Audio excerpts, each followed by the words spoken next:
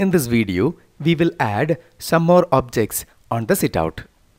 You can see a seat on the sit-out and there are number of brackets around the seat. Let's try to make this.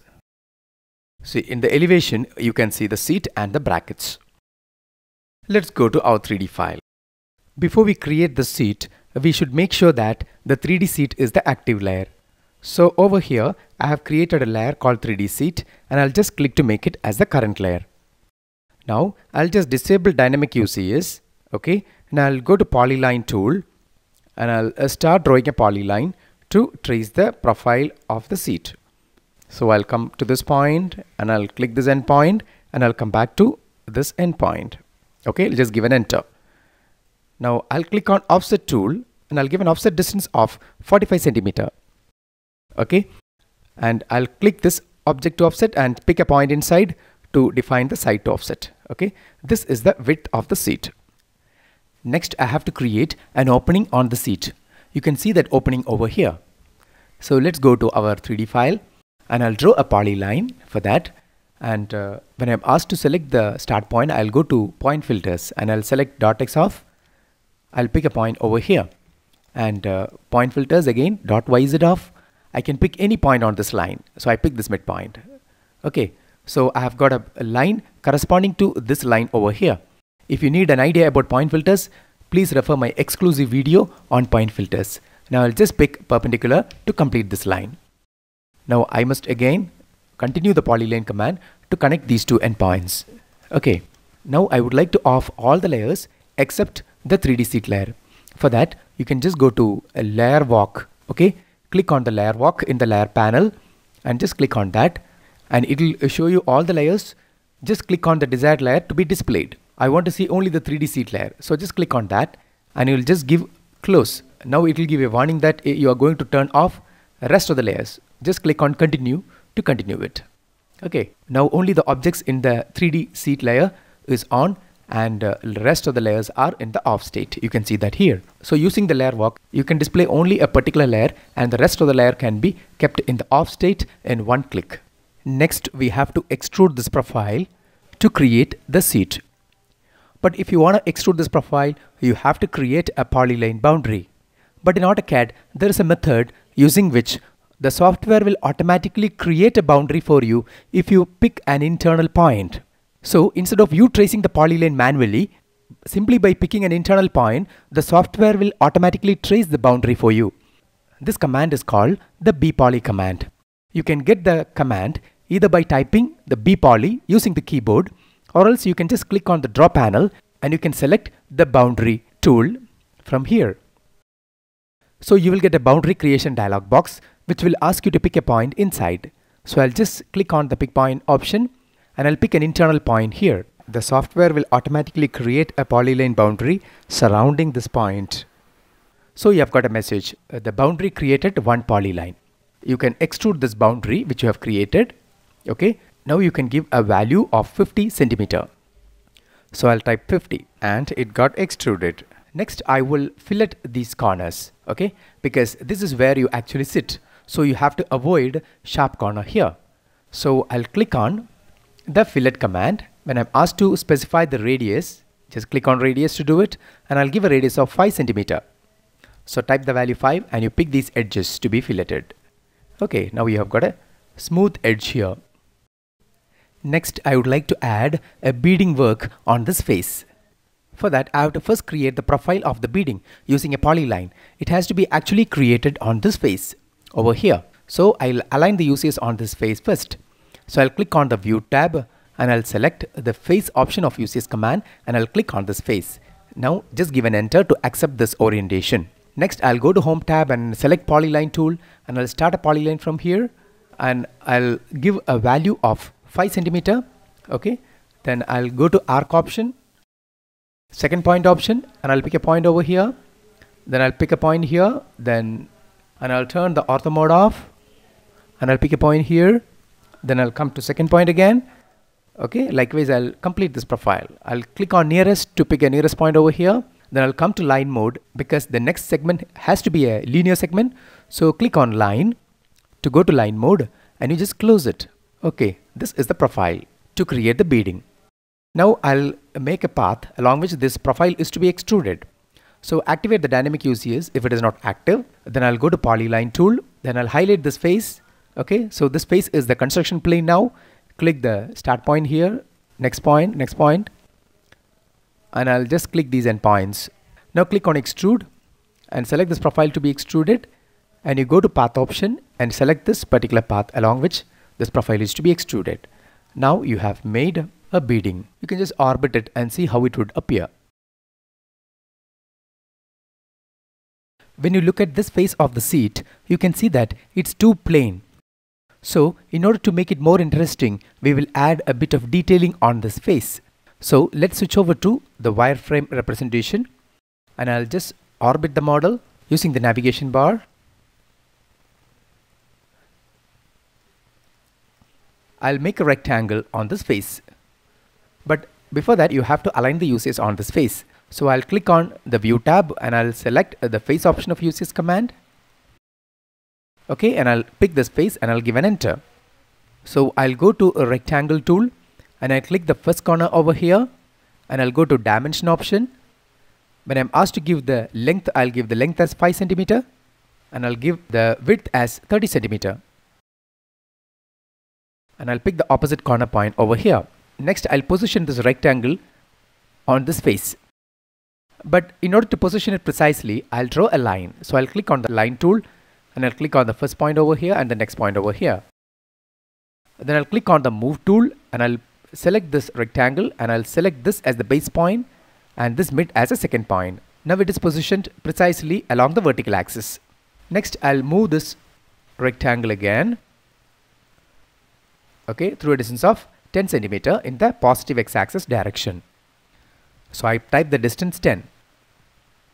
Next I'll extrude this profile in the negative z direction through a distance of 1.5 centimeter. So I'll click on extrude and I'll select this rectangle and I'll give distance as minus 1.5 because it is in the negative z direction. Next I'll go to array classic command because I want to generate multiple copies of the same extruded rectangle. And I'll give the number of rows as 1, number of columns I'll give as 11 and uh, the row offset is 1 and the column offset is 15. You can just preview it. This is how the multiple copies will appear. And I'll just give OK to accept this array. Next, I want the same copies to be created on this face. It can be done by mirroring these extruded rectangles about a 45 degree axis. So let us switch over to the plan view. So I'll click on the view tab and I'll select top. Okay. Now I'll go to modify and I'll select mirror and I'll select all these extruded rectangle using a standard window. I'll click on this point as the first point on the mirror line. Then I'll specify a point which is at 45 degrees with respect to the first point.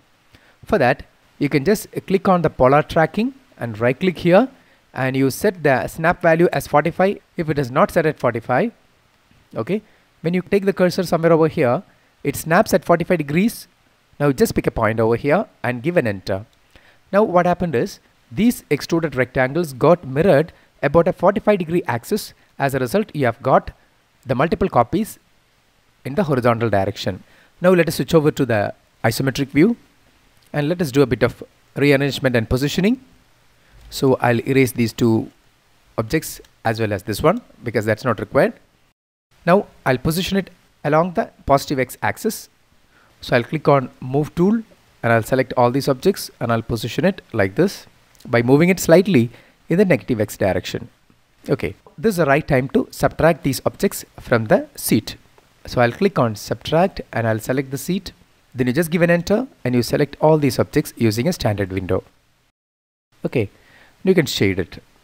Go for realistic shading and you can click on the orbit tool in the navigation bar and see what you have done. This is how you add some level of detailing in the front and left side of the seat to make it more interesting.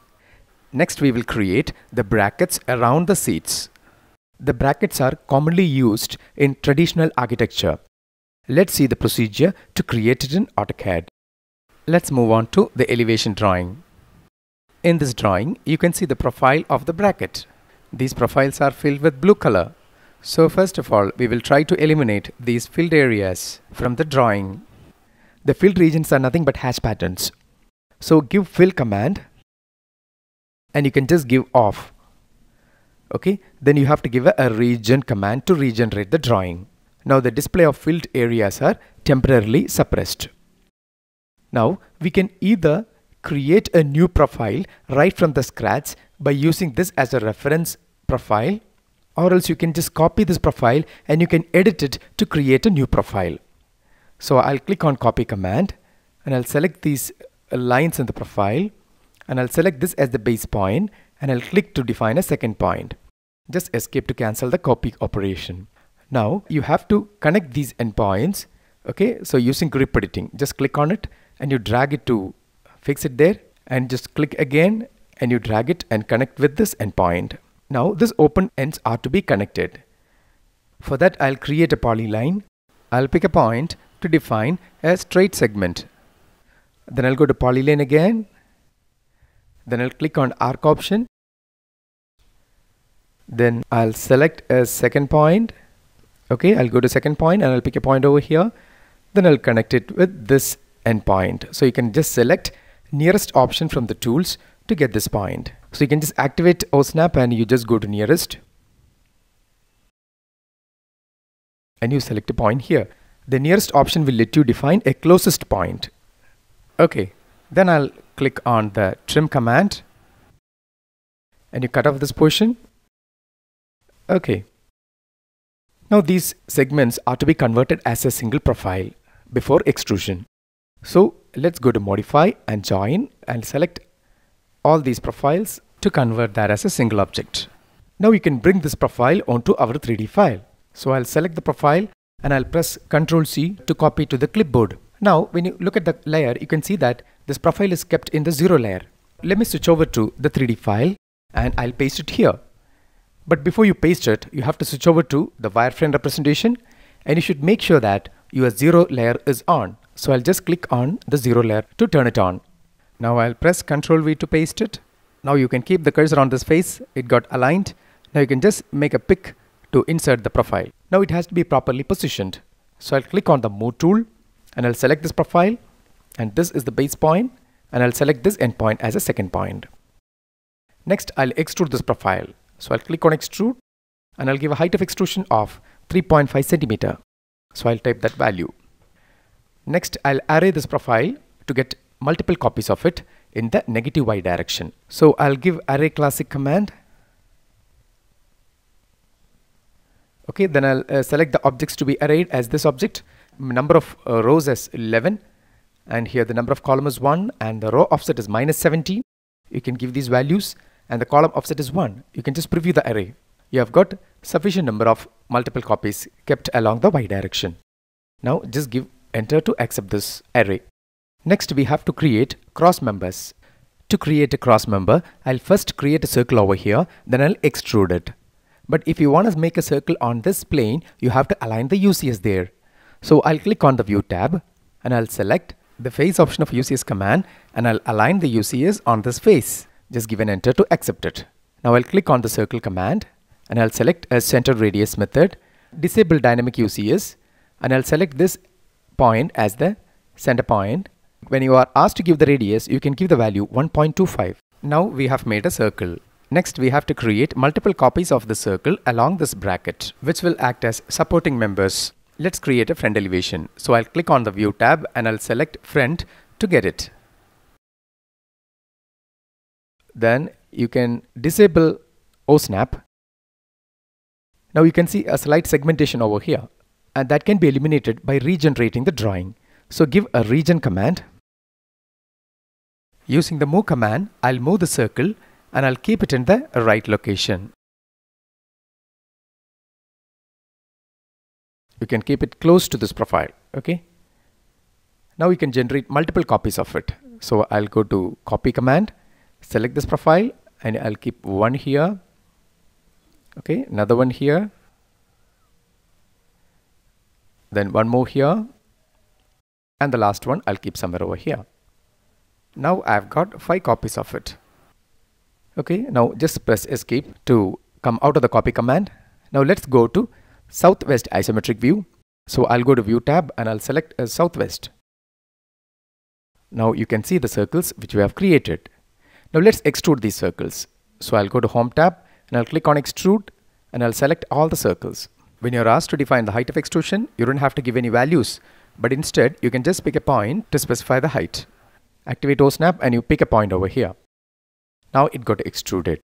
I just go to shaded representation and you can just orbit the model and you can see what you have done. These are the brackets you have created. In fact, when you recline over here, these brackets will support your back. That's the main function of these elements. Next, we have to create a copy of the same bracket onto the front side. So I'll go back to wireframe representation and I'll switch over to the top view by clicking on the view tab and select top. Now I'll just mirror this cross members along with the brackets onto the side. So I'll go to home tab and I'll select mirror from the modify panel and I'll select all these objects using a standard window. When I'm asked to pick the first point on the mirror line, I'll select this and this is the second point on the mirror line. These two points has defined actually a 45 degree axis. We have performed a similar kind of mirroring before. Now just give an enter to get a mirror image. Now we have to do some arrangements on these objects. So let us switch over to Southwest Isometric again. Now I'll move all these members using the move command when I'm asked to give the base point, I'll select this as the base point and uh, this endpoint is the second point. Now let's take a front elevation. So I'll go to view tab again and I'll go to front. And I'll erase excess elements because we need lesser number of brackets here. You can just move this bracket, the last one, and you can keep it over here. let's take a northeast isometric and we have to reduce the length of these cross members which are extended beyond the brackets. Before you adjust the length, you have to give union command to combine these as a single object. Now you can go to move faces option and you can select all these faces or else you can use the solid edit commands face move option to perform the same activity. This center is the base point when you're asked to give second point, you can make use of point filters to define it.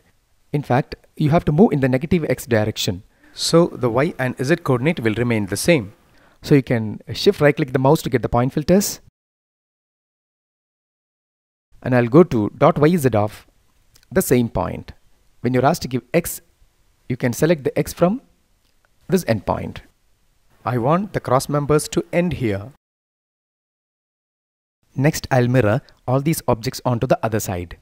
So I'll click on the modify panel and I'll select mirror command and I'll select all these objects using a window. When I'm asked to give uh, the first point on the mirror line, I'll right click OSNAP and I'll disable nearest. Okay, because that's not required. It was activated before. I should select this midpoint as the first point on the mirror line. When you just click over there, when you take the cursor over here, you will see uh, the tooltip corresponding to midpoint. Just make a click there. Okay, now you have to define a second point. That second point should be defined in such a way that these two points can define a vertical axis. So I'll press F8 and I'll pick a point straight down so that these two points can define a vertical axis and just give an enter to get a mirror image. Okay, now I want to turn on all those layers which were turned off before. So I'll go to layer walk and I'll select uh, the layers right from first to last except the plan layer. Then I click on close and just continue. Now you can see all the layers. Let us go to a southwest isometric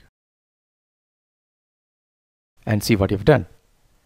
Let us switch over to realistic representation. Click on orbit from the navigation bar. This is the procedure to create the sit-out with seats and brackets in AutoCAD. Isn't it looking aesthetic? I hope this exercise was interesting. Thanks for your time. Take your own time to practice it and get back to me for any clarifications.